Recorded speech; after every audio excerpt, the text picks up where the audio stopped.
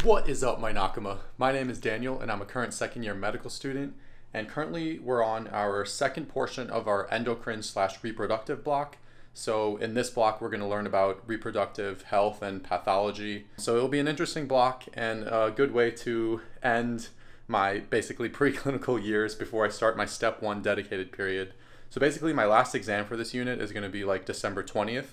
And from that point on, it's just grind time, just studying, studying for step one. Um, so before all of that starts, I just want to get out a few more videos because I'll probably have to pause on YouTube for a bit. But I want to take you through this current week um, of my medical school studies and um, hopefully you enjoy following along and maybe learn a little bit about what it's like being a medical student and how I study um, and how I try and balance, you know, studying with like fitness and health and mental health. So yeah, hope you enjoy. Let's have a great week. Let's get started.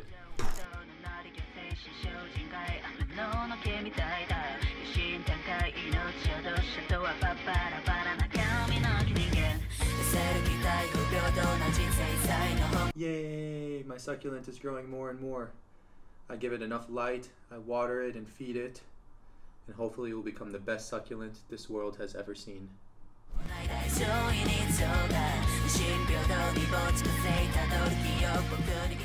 Okay, so I'm in the middle of one of my study breaks right now, and I just finished a UWorld practice test. I got a 65%, which is okay. I mean, I'd like to do a lot better, but right now I'm trying to do like full block 40 question practice tests with multiple systems and multiple disciplines um, and test myself that way to like really mimic the step one exam. And you know, it's better to miss questions now than in the actual exam.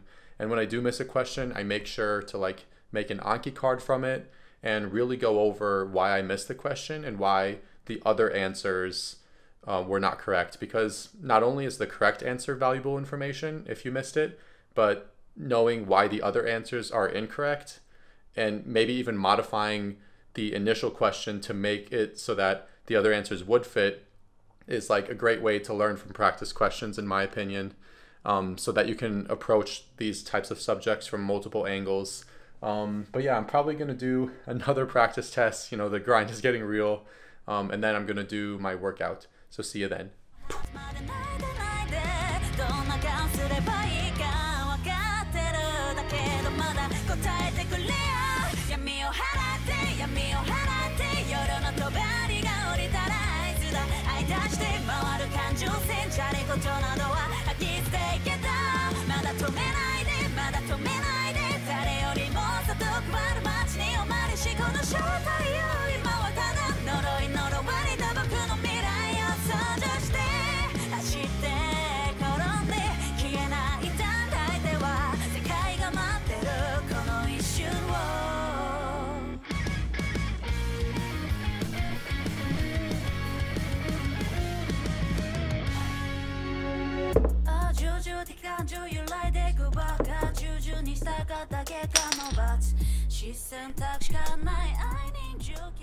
All right, so here we got my garb of the day. Got my Mickey Mouse sweatshirt, my sweatpants. I'm ready to study. One of the best things about online medical school is that you can dress like a hobo and still be set up for success. All right, let's go study.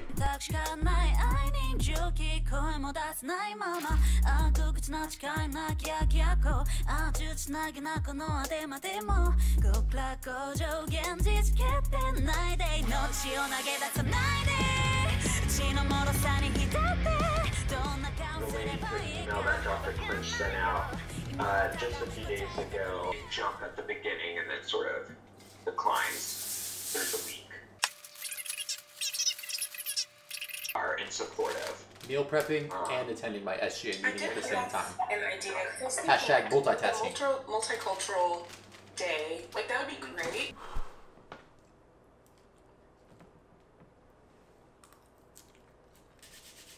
All right, so it's lunchtime. I've been fairly productive this morning. I got all my Anki done. I did a lot of boards and beyond. Attended an SGA meeting, meal prepped for the entire week. Now I'm eating the fruits of my labor. Um, so I pretty much finished my first block of studying, which I do from 8 to 12. And by the way, I intermittent fast, so I don't eat anything in the morning. And it fits my schedule well because I've just been doing it for so long, and I think there's a lot of health benefits to intermittent fasting. uh, but also from a timing standpoint, like um, I like to be really focused in the morning and start my work as early as possible. So like if I have to make breakfast and worry about cooking up some eggs and eating it, that just adds some more time in my morning. Um, and for me, I'm kind of the most focused in the morning, so that's why I just decide to like drink a coffee, have some water, and then just skip breakfast and go straight into my studying. Um, and I've been doing that for like three years, and it's worked well for me.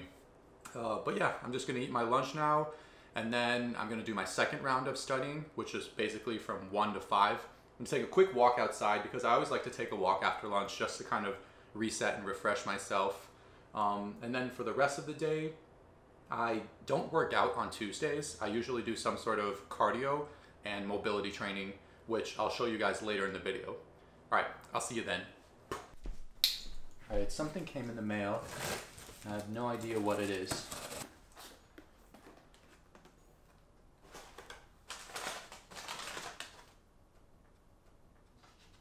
Peppermint candy cane pour over set? Christina must have gotten me this. Matcha iced tea. Oh, this is from Copper Cow Coffee. Oh my god. These pour over things are amazing. This is the pumpkin spice one. It's like Vietnamese coffee. wow. Candy cane flavor. And another pumpkin spice. Oh my god. An entire packet of these pour over things. This is the best gift ever. Thank you so much, Christina. oh, this is gonna get me through dedicated. I'm so excited.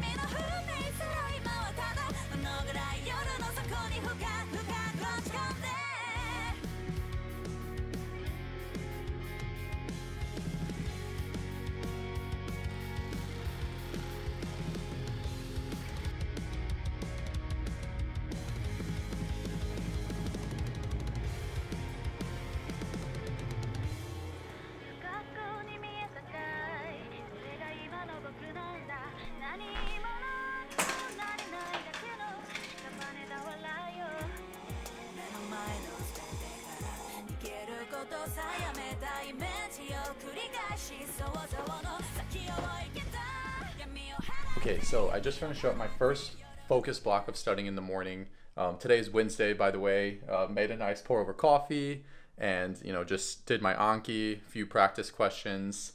And then I got a little bit distracted, I'm not going to lie, because of something really important. Um, it usually takes a huge event of sorts to distract me from my focus block. But what it was was the NVIDIA 3080s. I don't know if I pronounced NVIDIA, NVIDIA. um, the 3080 RTXs and the 3060 Ti's dropped like at the same time on Best Buy and on Newegg. And I freaking had it in my cart on Best Buy, but the locations, even though it was in my cart and ready to check out, it said there was like no available locations within 250 miles for pickup.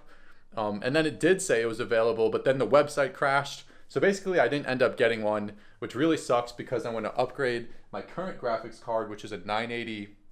No, it's a 970 Ti. No, actually 980 Ti. I want to upgrade my 980 Ti, which is about five or six years old, with either a 3080 or a 3060 Ti, so I can make even more epic edits, so that I can spin really fast and not have my computer lag at all. okay, well now I'm gonna go eat lunch and then continue on with the rest of my day.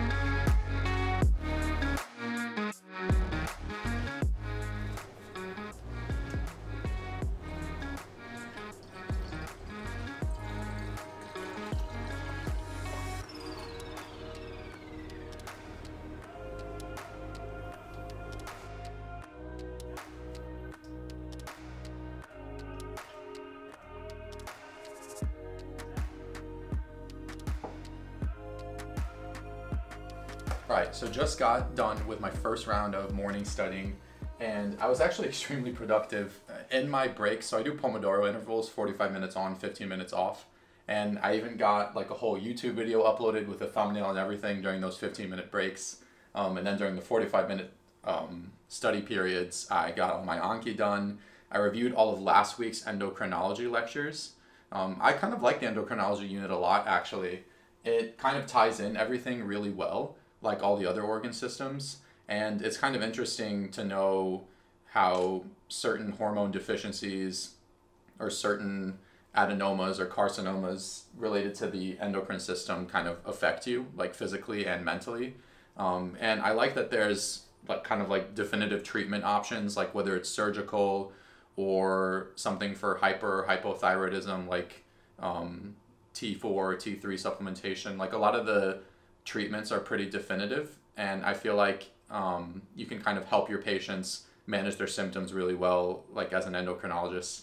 Um, so pretty cool. And also my clinical skills coach is a pediatric endocrinologist, um, Dr. Hunter. She's awesome. She's one of my favorite. Well, I only have two CS coaches. Both of them are my favorite, of course. I'm kind of biased, but she was great, and she's also our block director for this entire course. So it's cool to have her both as a block director and as my clinical skills professor. And I'll probably be rotating with her at some point if I d- decide to do a rotation with um, pediatric endocrinology. Um, but also, something else I wanted to mention that's kind of random, but I'm going to include in the description of this video is um, I'm pretty serious about like finances and stocks and stuff. And recently, I've been getting into cryptocurrencies um, within the past couple months. Um, and there's a cryptocurrency called Ripple XRP, which I think is on the rise. Um, especially, they're having um, this thing called a fork where there's a new token coming out. It's called Spark. And for every one XRP that you own, basically you're going to get one Spark if you hold your XRP in a valid exchange. Um, so I'm pretty big into this, and I might make another video talking about like my investments and how I handle all of that in medical school. Um, but I'm going to post a link below with my Voyager um, referral code. And basically, if you use that referral code, both you and me can get $25 worth of Bitcoin, uh, which is awesome because I'm a poor medical student, but I'm also serious about investments. And I just want to see that money grow, you know, because I mean, finances and stuff, I, I think they're pretty important. And it's something that we don't often talk about, especially as physicians. But, you know, we got a lot of debt. We're paying a lot to go to medical school. So, you know, anything I can do to make a little extra cash or have some uh, nice investments on the side, I'm all for. Um, so yeah, feel free to use that link in the description. I'll paste my code there, um, and it'll help both of us out if you use it.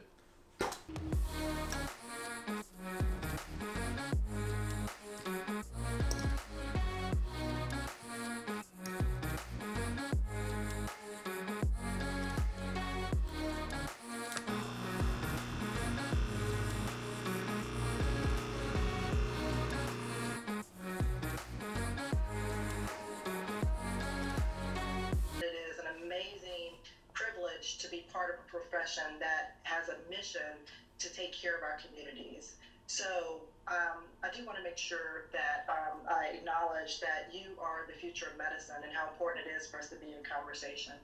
Okay, so we just got done with a mandatory lecture today, and it was actually a super important lecture that they just started integrating into our curriculum, which I think should be in almost every medical school curriculum because it affects so many people. But it's basically our race and medicine lecture series and we talk about certain health disparities that exist with certain populations in our community that affect them medically.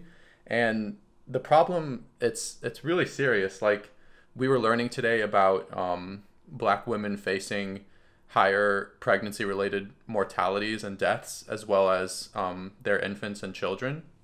Um, and it, it goes beyond just kind of the regular implicit biases that some physicians have like although sometimes an implicit bias of a physician can directly result in a severe consequence in terms of the medical care of some of these patients a lot of the times it's more so related to just the overall systemic racism that exists in our community that leads to these poor health outcomes of minority um, women in terms of pregnancy related deaths compared to like white women for example. And it's it's a really serious issue because I mean, as physicians, we try and learn and try and take care of the patient with the best of our ability. And seeing these statistics is just kind of horrifying a little bit that in our country that we spend so much healthcare dollars and we spend so much time um, compared to any other country investing in our healthcare that we still have these issues and it's something that we need to address i think holistically not just medically because we can provide good medical care, um, but a lot of the times it goes beyond that. Um, it goes to you know how certain people are affected in the community and their access to like basic resources like food and stuff. And all of this combined, I think, just creates these disparities in health outcomes. And it's definitely something that we need to address. And I'm glad we're learning about it as physicians. So hopefully, the new generation of physicians, including my class and the years below me, can really take into consideration these issues so that in the future we can decrease these disparities in health outcomes and hopefully provide just the best care for all of our patients. I mean, because one of the worst things, if you think about, is like a pregnancy related um, death, you know, bo- both for the mother and the child and, and the entire family. It's just an awful situation overall. So I just hope that, you know, in the future these numbers go down. And personally, I'm going to try my best to address these issues and to provide the best care that I personally can. You know, it shouldn't matter what the color of your skin is. As physicians, we should treat everyone equally and provide the best care we can for every single patient that we encounter.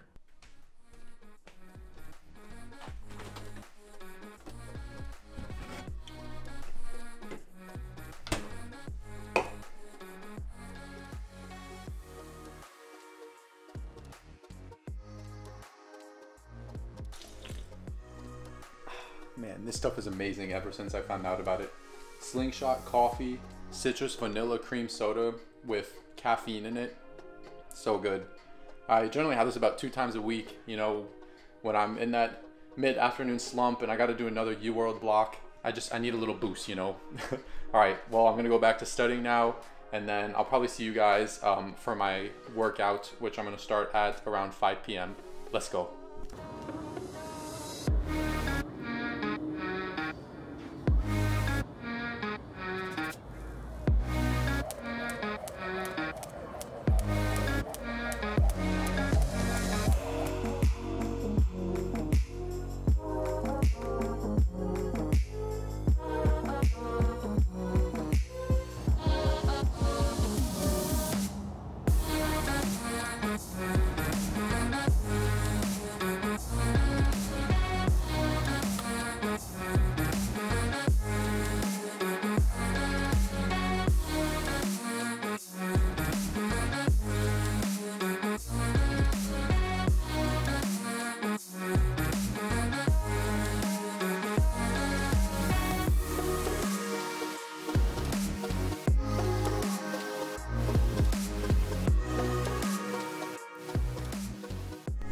So I'm about to go to bed, and I kind of stayed up a little bit late playing Valorant, um, which I probably shouldn't do, and I'm definitely going to delete before I start my dedicated step one studying.